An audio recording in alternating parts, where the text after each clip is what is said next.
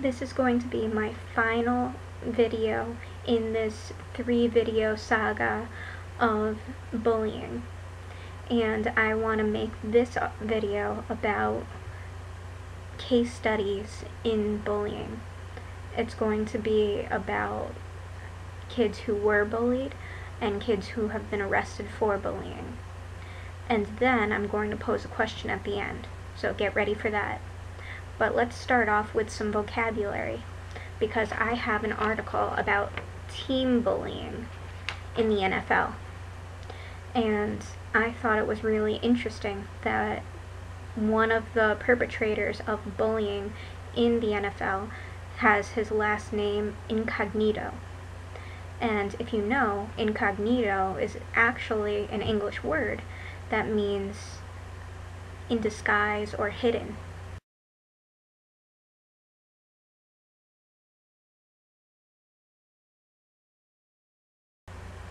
Former Marine Bill Harmon talks about the bullying that happens in the military and he referred to it as hazing.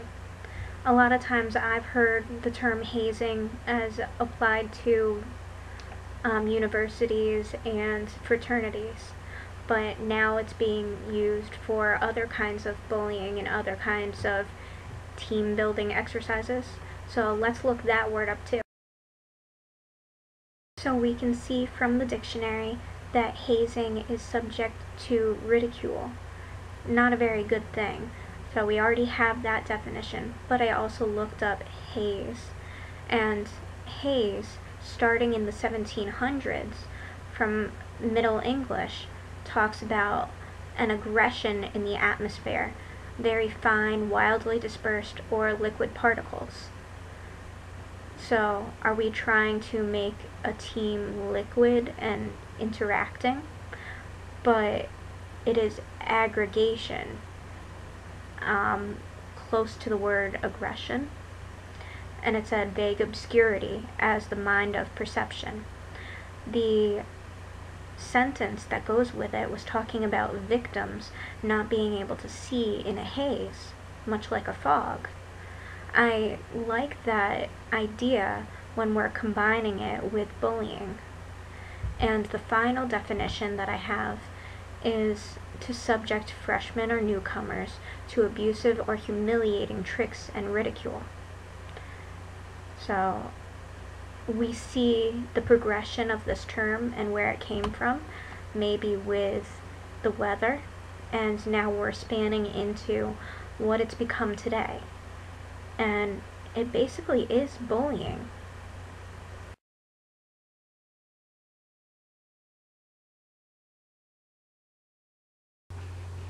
Speaking of team violence, a former teacher and an athletic director in New Haven, Jonathan Weiner, was arrested for possibly bullying his students. Now, I can't find the date of this article, I guess I didn't record it, and I can't find any information about the case of Jonathan Weiner. What I did find in reading the article was that the judge threw the case out earlier on because of the way that he was arrested. His legal name was also Jonathan Weiner, W E I N E R, and because his name is Weiner, W I N E R, the judge had to throw it out. I think things like this are ridiculous. And if the teacher did, in fact, throw physical objects at his students, this is physical bullying and terrorism, which should not be condoned or allowed in schools.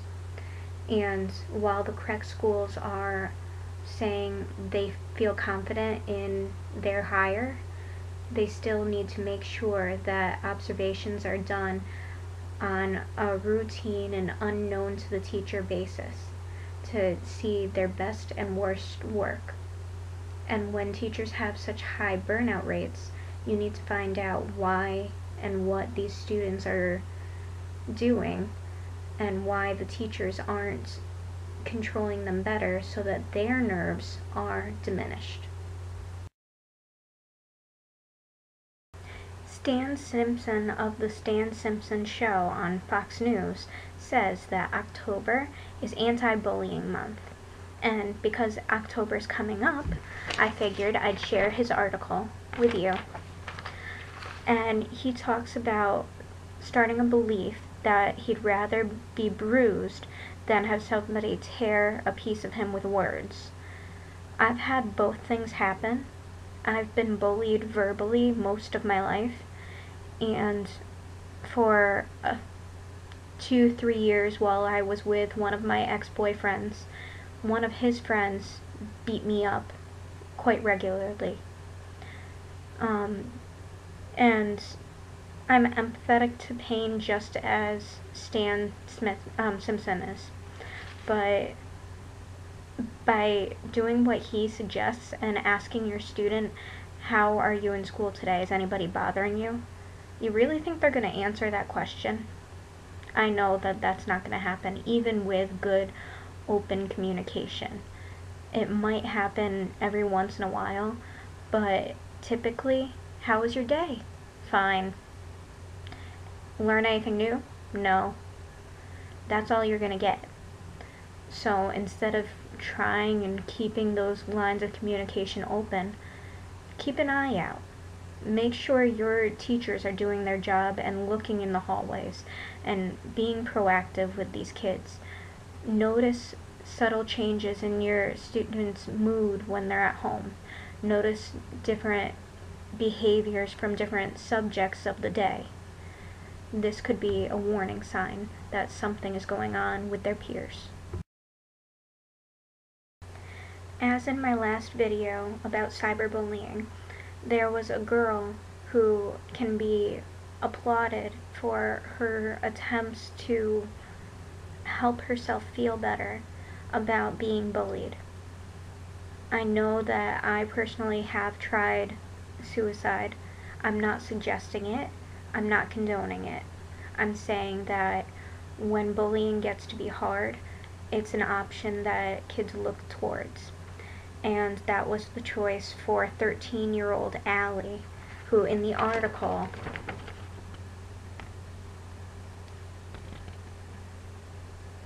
you can see she took her father's heart medication and you know um, I probably shouldn't be telling how but afterwards after getting therapy she created this website LoserGurl most cyberbullying happens and now she's giving a voice to positive an environment on social media. Studies have shown that in two different articles, the popular kids are also teased and bullied. And this kind of makes sense if you're looking at it from a business standpoint, maybe. Um, the same principles apply. You're trying to go up the ladder of success. So what do you need to do? You need to discredit those who are above you. And by discrediting them, making yourself look better in comparison. mucho gusto. Hay que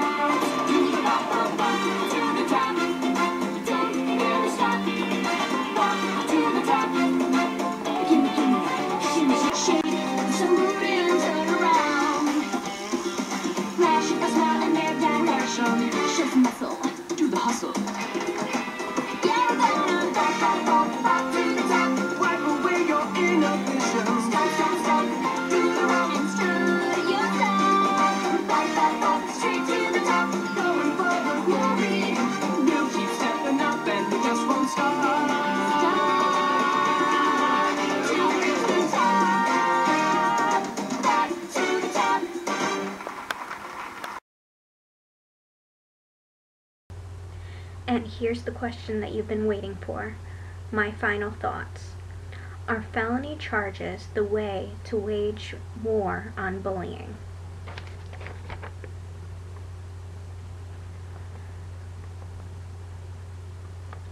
we can see that a lot of people weighed in on this issue in the USA Today article and online. Actually, it says online opinion. And most people have said that no, it's not something that they're looking into because it shouldn't be criminalized, but it should be changed. Paul Coughlin of Fox News says in order to fight this war for human dignity and help rehabilitate schoolyard bullies, we must understand that most bullying is not rooted in anger, but an emotion for most sinister contempt. I like that idea, but that means if it's a sinister contempt, aren't they criminals in training? So maybe it is a felony the Chicago Tribune had an editorial talking about law enforcement and the First Amendment protecting even vile and offensive statements that are meant to wound. But things like the anti stalking laws are reserved for those physical crimes. I'm not so sure because I've seen different cases where verbal crimes of harassing and stalking have been convicted. Um, Mark O'Mara of CNN questions if it's ignorance or apathy about a child's cyberbullying that can be criminalized.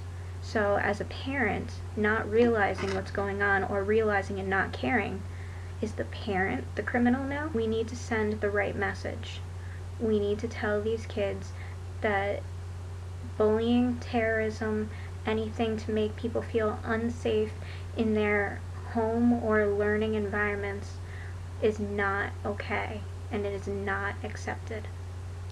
I want to hear what you think, so write your comments below or message me here. And don't forget to subscribe.